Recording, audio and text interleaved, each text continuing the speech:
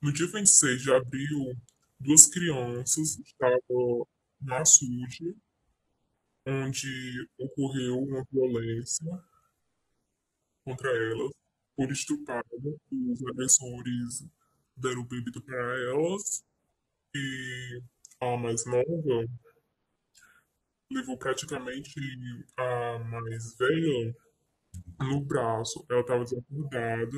Quando chegou lá no irmão dela, ela estava desmaiada, tentaram reanimá-la, ela levar para o hospital e de lá o conselho tutelar acompanhou. Levaram para a delegacia e levaram para fazer exames. Ontem à tarde, fiquei sabendo que a mais velha, a mais velha estava muito mal, foi levada novamente para o hospital. E até agora não prenderam os culpados. E quando a mais velha acordou, o, a mais velha falou quem foi e quem, como tinha acontecido aquilo. E a mais nova falou o nome de um deles. E a outra falou de dois. Mas tem outro suspeito, não é de certeza. É quatro.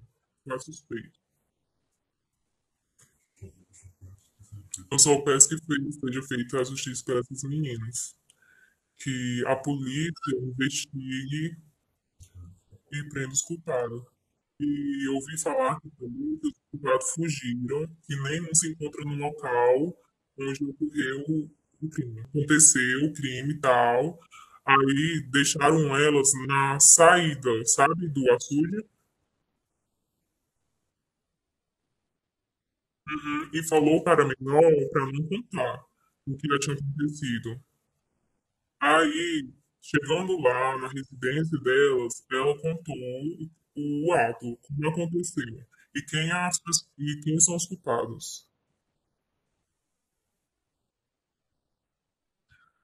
Aí, a mais velha estava desacordada. A família levou para o hospital e o conselho tutelar foi acionado. Juntamente com o conselho tutelar, eles foram na delegacia prestar o BO e foram fazer exame.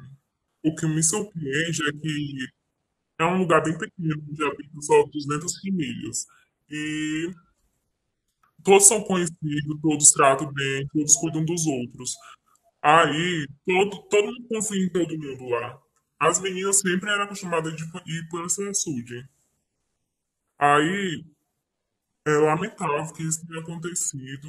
A gente não esperava que isso tivesse acontecido, porque é pessoas, pais de família, próximo da gente, que tem a gente em costume, a gente é amigo de todo mundo, sempre convive na casa dos outros.